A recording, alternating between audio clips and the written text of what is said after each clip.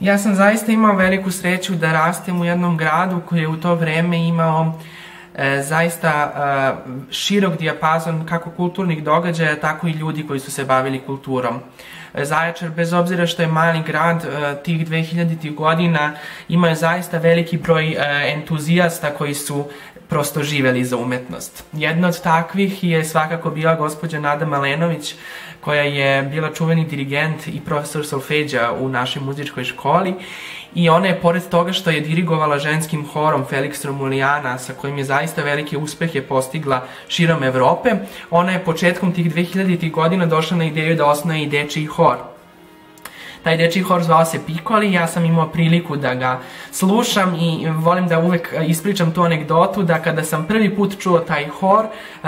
na jednom njihovom koncertu, bio sam sa mamom i pitao sam je zašto sam ja ovde, zašto nisam gore ovaj, sa njima? I tako je nekako počela moja zaista velika ljubav prema muzici, u tom horu sam pevao skoro 10 godina i to je prosto jedan od najlepših svakako mojih, e, muz, jedno od najlepših muzičkih iskustava i prosto taj sam početak je bio dosta uh, uticajan, zapravo presudan za dalji, za dalji moj put.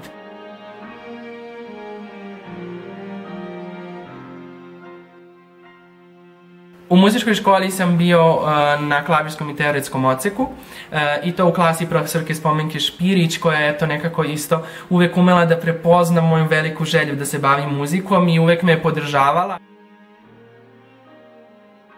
Druga institucija, uh, svakako ne manje važna, jeste Niška crkveno-pevačka družina Branko, jedna zaista institucija koja to postoji već 133 godine, znači jedna od najstarijih muzičkih institucija u Srbiji. Tamo sam i u Dečijama i u Mešovitom horu se susreo sa divnim ljudima, prvenstveno sa dirigentom Sarom Cincarević i dirigentom Jovanom Mikić, a tako i sa svim pevačima. Imao priliku da po prvi put stanem pred ansambl, imao priliku da po prvi put takvi ansambli izvedu moje kompozicije i to je zaista m, prosto i u tom trenutku, evo i sada kad pričam o tome, shvatam koliko su ti ljudi e, prosto ljubavi pružili meni i koliko je ta ljubav bila presudna.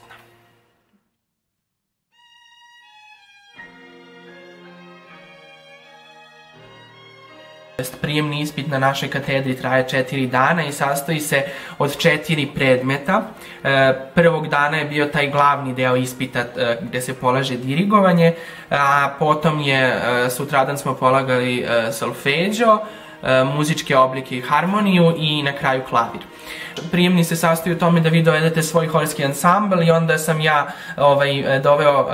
da kažem, ansambl koji je bio sastavljen pevača Hora Branko i Hora muzičke škole iz Niša i onda smo zajedno izveli 12 rukovet i to je jedan od, tako, da kažem, najbitnijih delova prijemnog. Takođe tu je bilo i dosta klavirske korepeticije, čitanja s lista, poznavanje muzičke literature, tako da je sve to potrebno pripremiti, ali ono što je moj glavni prijem, utisak tog prijemnog jeste da je to zaista jedna moja uspomena koja nima nimalo nije negativna. E, naša katedra ima divne profesore koji su tog dana tu došli da prosto u kandidatima prepoznaju buduće dirigente i zaista su kako ispitivač, tako i sama komisija uvek blagonakloni prema kandidatima, uvek je odlična atmosfera, tako da svi koji žele da, da probaju da upiše Fakultet muzičke umetnosti u Beogradu, zaista mogu da kažem da je prijemni e, ispit za mene, koliko god to čudno zvučao, jedna opet lepa uspomena.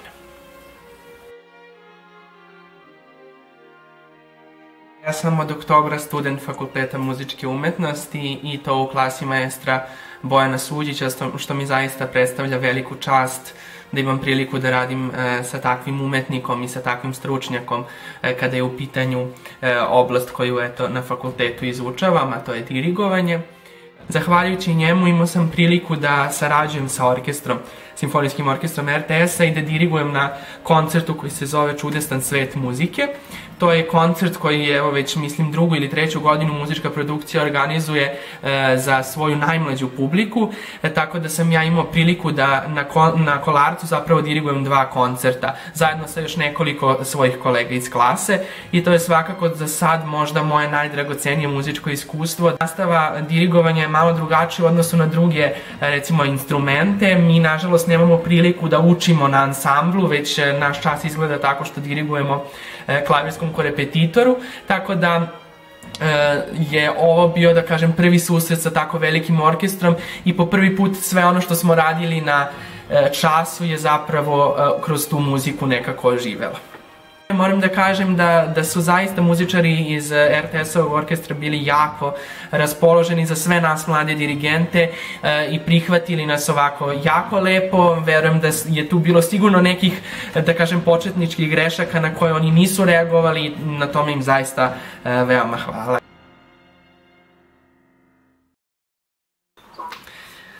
Kompozicija Sesi premudro stvorio Bože je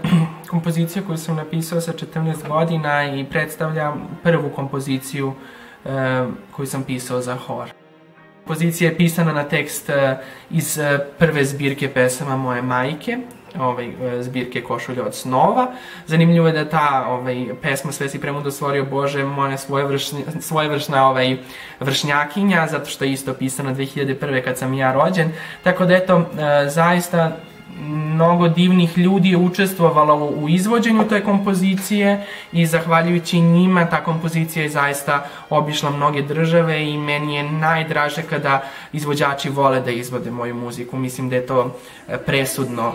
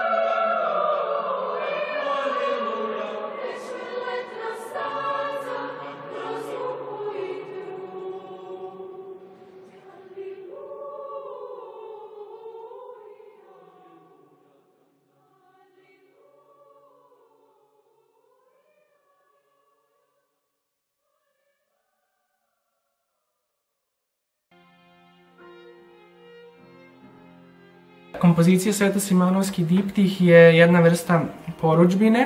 e, od e, Niške crkveno-pevačke družine Branko i pisana je s povodom i to jako bitnim i lepim povodom. U pitanju je veliki jubilej obeležavanja 850 godina od podizanja prvih nemanjičkih zadužbina, to je manastir e, Svetog Nikole i manastir Presvete Bogorodice u Kuršumliji. Ja sam dobio zadatak negde uh, krajem juna prošle godine da se tokom letnjih ovaj, meseci uh, pozabavim pisanjem eto, takve kompozicije i uh, dugo sam razmišljao šta bi to bilo najbolje i najprikladnije za jedan takav jubilej. Eh, boravio sam eh, negde oko nedelju dana u Studenici i baš tamo, eh, verujem sa blagoslovom Svetog Simeona je nastala kompozicija Sveto-Simeonovski diptih. U pitanju je vokalno-instrumentalni diptih za gudački orkestar, mešoviti hor, vokalne soliste, klavir i udaraljke, a po uzoru na naše kompozitora Rajka Maksimovića, eto, osmelio sam se da u,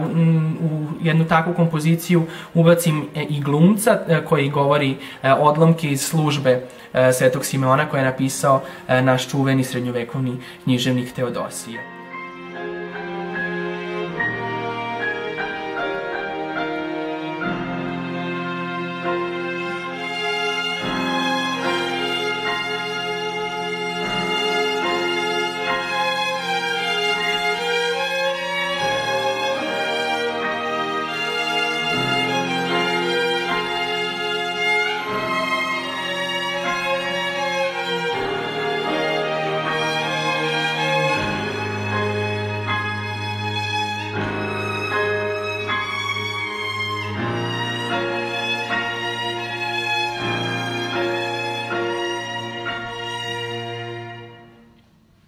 Tom kompozicijom želeo sam zapravo muzički da ilustrujem ono zbog čega je e, Loza Nemanjića bitna za kako našu državu i državnost, tako i za našu crkvu i našu kulturu. Dakle, taj susret e, onog što je vizantijsko i onog što je naše nacionalno srpsko, to je ono što zapravo karakteriše tu kompoziciju. E, ta kompozicija je izvedena do sada dva put. E, prvi put je izvedena na samom, e, dakle, na samoj svečanoj akademiji povodom jubileja u porti manastira Svetog Nikole u Kuršumliji pred velikim zaista brojem kako publike, tako zapravo prvenstveno e, i crkvenih velikodostojnika koji su tom prilikom došli u Kuršumliju. E, tada je e, to delo izvala Niška crkveno-pevačka družina Branko, e, kao i kamerni gudački ansambl Branko koji je to tom prilikom okupljen, a drugo izvođenje je bilo u, svet, u Domu vojske u Nišu, sada 27. januara na Svetosavskoj akademiji, s tim što nam se ovog puta, pored Niške crkveno-pevačke družine Branko i kamernog orkestra Branko, pridružio i orkestar Impresija, Niški orkestar koji nam je to pomogao da to zazvuči još jednim ovako, da kažem, širim zvukom, tako da e, to su za sad izvođenja Svetosimeonovskog diptiha, nadam se da će ih biti još. Eto, lepo je bilo, mislim, moja velika čast za mene bilo to što sam upravo ja dirigovao oba izvođenja, a to je zaista um, velika radost za svakog kompozitora da diriguje svoje delo. Po blagoslovu e, oca Predraga Timotijevića, koja je starešina e, hrama Svetog Vasilija Ostroškog na Bežanijskoj kosi, e, od oktobra prošle godine nalazim se eto na tom mestu dirigenta dečijeg hora pri tom hramu. E, pri tom hramu e, funkcioniše ukupno tri hora, jedan je mešoviti koji vodi moja koleginica Katarina Božić, e, zatim imamo omladinski srednji hor koji takođe vodi moja koleginica Jelena Timotijević i eto ja imam tu veliku radost da radim sa najmlađim horom. Zaista to je za mene velika radost, ali još veća odgovornost. E, zato što je to e, uzrast dece je zaista, to su deca od neke četvrte pa do desete godine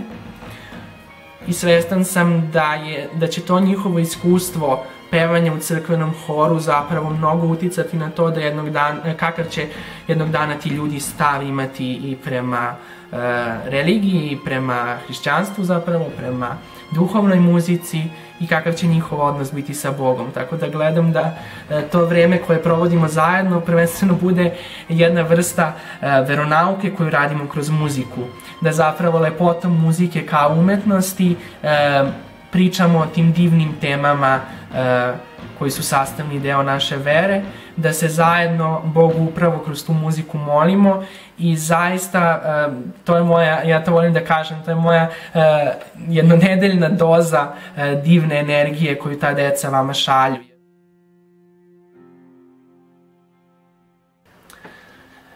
Ono što često zaboravimo e, kada je u pitanju uticaj duhovne muzike na umetnika, čoveka i naciju, jeste to da je zapravo duhovna muzika bar u pitanju kada je reč o srpskoj muzici, uopšte i o sveobuhvatnoj e, svetskoj klasičnoj muzici, zapravo duhovna muzika jeste koren svega i jeste, e, da kažem, muzički žanr, ako to tako malo neslovno mogu da nazovem, e, koji je uticao na, na sve ostale žanrove. Pa tako i na mom nekom ličnom primeru duhovna muzika zaista jeste nešto što čini mi se utiče i na, neš, na ona dela koje stvaram, a koje izlaze iz e, tog prostora duhovne muzike.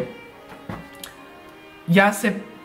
prosto nikad ne mogu da opišem svoj stvaralački proces zato što ga vrlo brzo zaboravim. I često kad gledam neke svoje kompozicije pitam se odakle ovo ovde i kako sam uopšte došao na tu ideju.